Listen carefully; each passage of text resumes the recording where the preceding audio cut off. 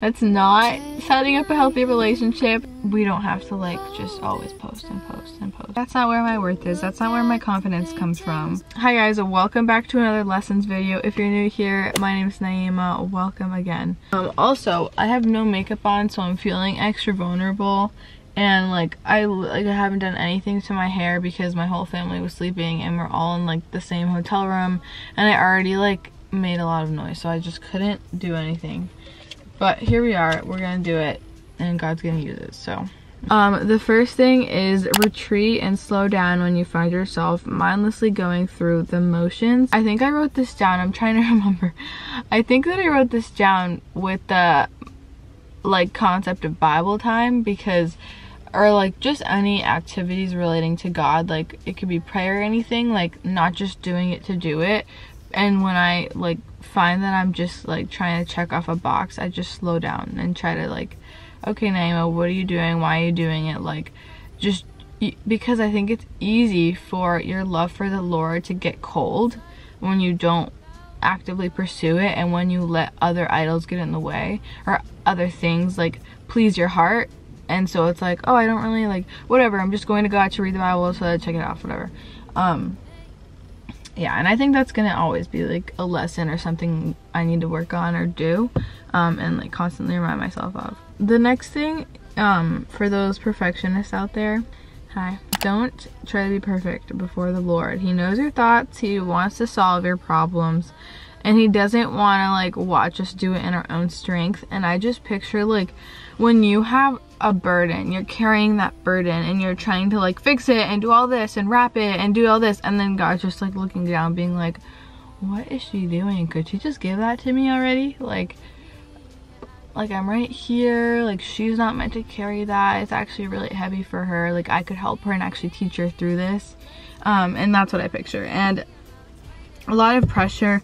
And like for me especially i think i've said this before maybe in even one of the lessons videos but like when I have like a burden or something that's giving me some anxiety, I oftentimes like picture it like in my hands and I'm turning away and like God's over there and I'm over here and I'm like, no, no, no, God, let me just, let me just fix it and then I'll give it to you and then I'll talk to you about it and then, and then I'll do this and then I'll bring it to you once it's perfect. But it's like, actually God already knows, actually God wants to be in it with you and actually that's the whole point. Um, and that's like one of the blessings is that like we can invite him into our problems into our life because like he actually already knows everything so it's like you might as well.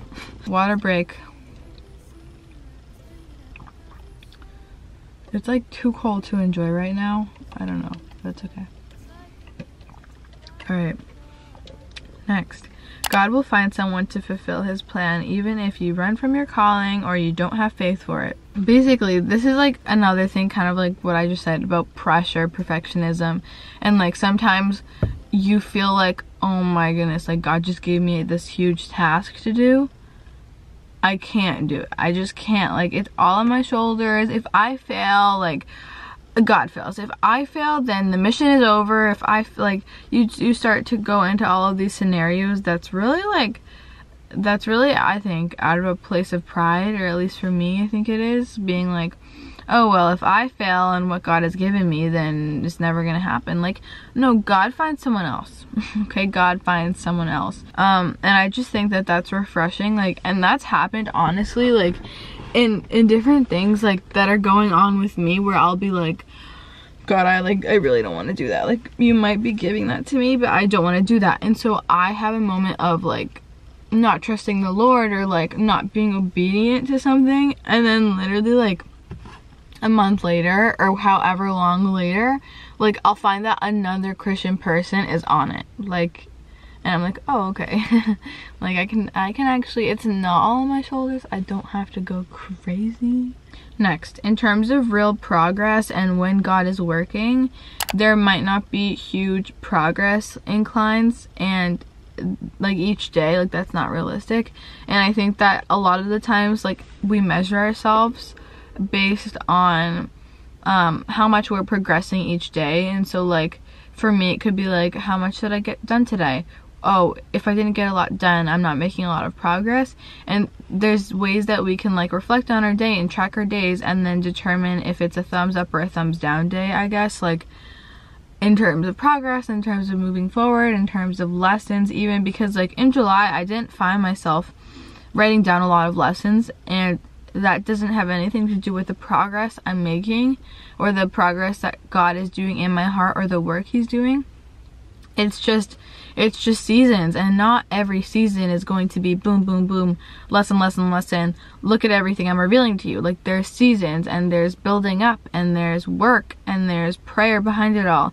Um, and so i think it's easy to get discouraged and that's something that's a tactic that the enemy will use honestly like discouragement and like oh did you even make any progress? Like like especially oh my gosh when i was reading um jeremiah i was literally reading jeremiah's like i think 50 or 60 chapters it's pretty long but when i was reading jeremiah and i was in it for like maybe like five months i was actually like am I even making progress? Like I got discouraged. I think I even took a break from reading Jeremiah because I was like, I just am not going anywhere. And it just felt like I was going nowhere. And it's just like, there's so much power in getting to the end of a book. Um, and I think we could use that also metaphorically because there's so much power to like holding on and being diligent even when you don't see results and progress immediately. And you could even argue that that's when you see the most progress when when it's slow and when it's gradual. Um, i read summer i read um whoa. I read atomic habits for summer reading and it was kind of that same principle that like 1% incline 1% incline. Like just get 1% better every day. That's all that's all i need to worry about just don't get 1% worse that's it okay Okay, this this one's good. You don't need to post it on social media. Try to find a balance between showing off and sharing a memory. I think like especially having this channel, there's like a weird gray area for me that's like that this my Instagram account is the only one that I have. Like I don't have a personal at, at YouTube because like it's just like too much to to keep track of for me. Um so like when if people are following me even personally they're following my youtube and i started it as a separate account um and so there's like but there's still like this weird thing that's like i'm going to post a lot on here. I'm going to spam. Like this is my youtube. This is what i'm trying to build. I'm trying to build a brand here. And so i'm going to post a lot. And i don't want to come off as annoying. And it's like a weird thing that i don't think people are really going to be able to relate to. But the point is it's like hard because I get into a rhythm of posting and then sorry my okay someone just texted me. Um you're like you're literally posting everything like why are you posting everything? I guess that's the mo more important question like why are you posting everything? Because if i have a, an instagram and i'm trying to build a brand and i have a youtube channel and like it's all meant to be pointing back to god and like giving a testimony and i'm posting everything does that create a positive profile or am i showing off? Like like there's like this line and this balance that's like where where is this coming from?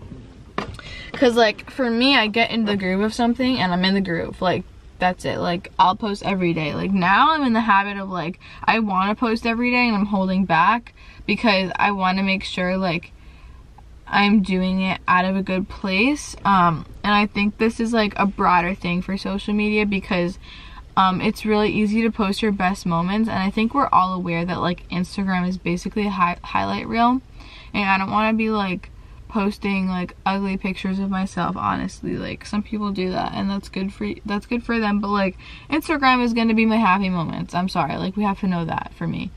And so it's about like how much are you posting? Are you just bragging at this point and like I don't know but I've, I've definitely wrestled with Instagram a lot um, and like what I share and trying to make it realistic but not like like this is my happy moments. Do you it's like a bigger conversation but i've definitely like considered deleting um social media and like maybe two weeks before school starts delete it and just like rest and not worry about like posting everything because it, it it's getting to the point or like it's gotten to the point where like when I see something cute I'm not like enjoying the moment. I'm like I need to post that and I need to share that. Like like do I? No I don't. I can enjoy this moment for myself and um we don't have to like just always post and post and post and post. So it's like hard too when you're on vacation.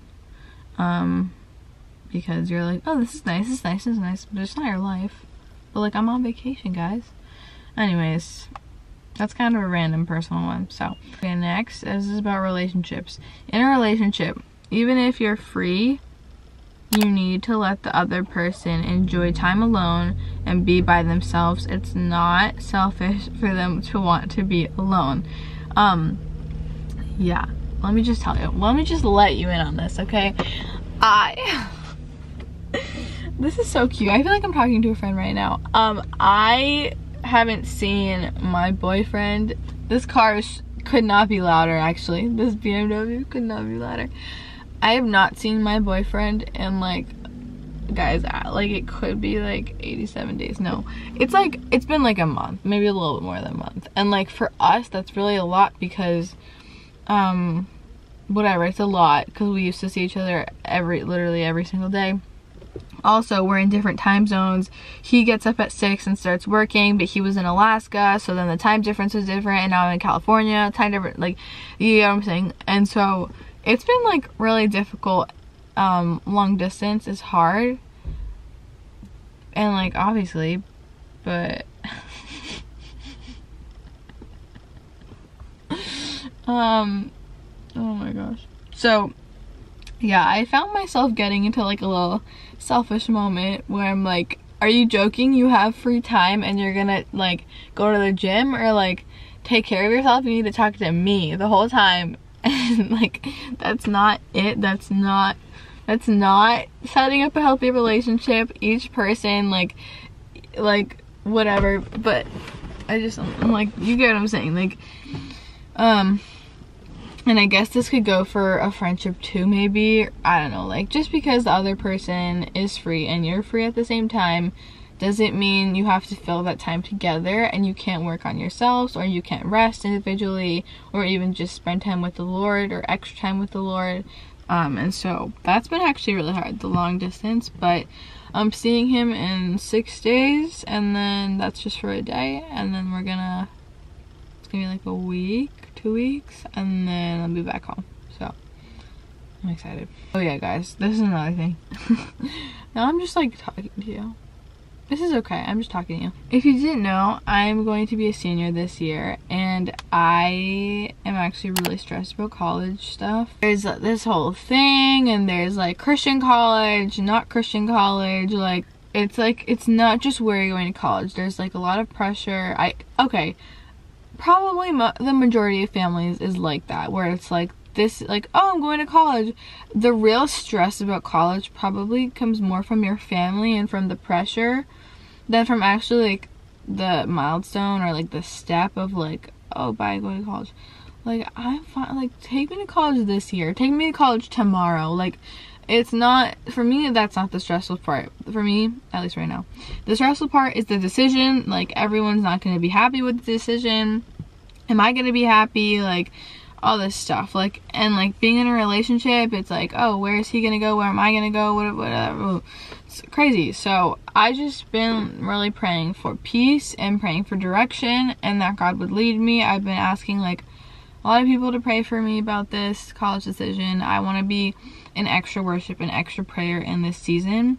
Um, I'm applying to like 13 colleges, but um, we'll see. I don't know what's going to happen. Um, I definitely have my preference, and I don't, I'm not going to share that right now, but um, it's just really stressful. And like, I, okay, let me show you this acne right here. Like, I really believe that that's stress. Like that is just stress. And because this is not always active like i have some scarring here but like it shows up. Like if i get acne i usually get it here.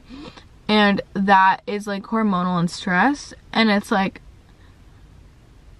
like you can tell guys. I don't know. Like it's crazy. It's a crazy Not to mention me touching it and like whatever, but and then I stress out about like getting acne and like that's been the whole thing, but um that's actually another thing like my worth is not based on my appearance. Like i've been getting really insecure about my acne recently just because like the acne i have i'm pretty it's just like hormonal and stress so it's not like like i'm i've been to the dermatologist i've taken antibacterials i've done all of the topical creams. Like there's all these things and it just like literally comes down to stress and hormones um and probably eating and sleep and stuff. But yeah i just like yesterday even guys i was really like i didn't even want to leave the hotel room because i was gonna be going out without makeup because i was going to the beach. And so i like didn't even want to leave because i was so insecure. And that's so sad like like that's not where my worth is. That's not where my confidence comes from. That is just not it. That's not we can go out and be confident because of who the lord made us to be. Acne is normal. Acne is a part of me. And so that's just how it is okay? So yeah. I mean it doesn't help when your younger brother is like Naima why do you have so many pimples? Like like I, I don't know. This next one. This is so good. We only have two more. This one is so good. Pick a lane and stay in that lane or let God pick your lane and just stay in that lane I was listening to this podcast um it was really, really, really good. It was a longer one and it had like different topics, but it was so good. And a lot, she was talking about her lane in ministry. It's hard to communicate what I'm trying to say, think right now, what I'm thinking right now, but basically like each of us in Christ and like in the body of Christ have a lane, we have a ministry, we have like a like we are built so specially and so specifically and and that is for our lane. Do you get what I'm saying? Like, and I'm using lane as an analogy for your calling, for your purpose, for your ministry. And so her lane was like teaching people that it's like so important to have Christ-like fun. Like we're important to have, we're we we're supposed to have fun. Like someone else's ministry could be like preaching on the streets, doing evangelism, like just like that. Like go up to someone share the gospel pray for them. Okay. Another person's ministry could be like making youtube videos and kind of doing that like method or whatever. Another person's ministry could be going on doing podcasts. Like another person could have the gift of giving and so they host a lot of things bringing a lot of people to their home and and sharing hospitality and that's the way they they um get to know christ. Um and so there's different lanes and I think that that's so reassuring because I think that I a lot of the times want to be like I want to do it all. I want to do it all. Like this is all me. Like I'm doing it all whatever. And that's just not it. Like you have a lane. Stay in the lane do your lane. And like that's so true like especially like talking to someone who's not a believer. And I and like they have a certain testimony. Like I don't have that testimony. But guess what? I know someone who does. And so I'll be like oh you know my friend she went through the exact same thing. Let me connect you guys. You guys can talk. Like knowing kind of like oh this is not my expertise. This is not my lane. But I know someone who is in this lane and does it great. So let me just like you don't have to fill a lane. Like you're in a lane and obviously like there can be times where like maybe you don't have the gift of um wisdom but you're in a place to give um advice to your friend and maybe like you know there's like god god can do anything. Gotta pray. But the lanes the lanes. Pick a lane. Stay in the lane. Um and i think when when we say when we talk about picking a lane there can be a lot of pressure in that too. But it's like no what what's your lane naturally? And that can take time to figure out and discover and like god is gonna lead you to that. Um but like i know for me for example like my lane is not necessarily like going on the street and sharing the gospel with someone and like praying for them giving the hug okay bye like like naturally and maybe that's just because i haven't been exposed to a ton of that but naturally that's not my lane. My lane is like to really know someone, become friends with them, share the gospel, and like let, like, like that's my lane, the friend lane, okay? My lane is the YouTube lane. Um, and, and my lane is like, it's, do you get what I'm saying? Like, it, it might not be super clear cut, but yeah, okay. Last thing, really good. God will always celebrate you. Your worth is not in how much you do. And that's like been something like every time like like legitimately like every time I finish an assignment, I finish a video, I finish um my work for the day or I go to a cafe, I do my work. I like have to tell myself before I leave, Naima, your worth is not in what you just did. Your worth is not in what you just did. This is not where your worth comes from. Your worth is not in like I sit down and I tell myself your worth is not in how much you get done by by the time you leave this table. Your worth is not. That's not where your worth lies because um the problem with that if if you've like experienced like burnout or or anything like that where it's like you just have to do do do to kind of feel that gratification it's it's just a terrible cycle that like it feeds into itself i think really and it's not good because that neglects rest and time with God because like it, it can be to the point where like I want to do all of my to-do list where like I don't read my Bible. It's like, oh no no God, I like I actually have a big to-do list today, so I'll get back to you maybe tomorrow. No, that's just not it. And yeah, I think it's important. It's something I've been telling myself. It's something that I've been needing to remind myself of and pray about. Your worth is not in what you do. Like God loves you now, today, tomorrow, like he, like boom, that's it, okay? That was our lessons for the month. Um, oh, also, I need to tell you, I need to tell you, if you're still here, you're in it, you're in it, hello. I need to tell you, this year I signed up to take three AP classes. Um, I'm going to lead a club. I'm on leadership for another club. Uh, obviously I have a boyfriend, that takes up time and I have family. Um, I also have church to serve in. I have rest to do. Um, also, I am applying to colleges, so I have so many videos that I want to do, and so many videos that I feel like God has just been like, go, go, go, Naima, do it. You got it. Do it. Let's go. And I can't do them all, obviously, but I just want to give you a heads up. Like, the uploads will probably slow down.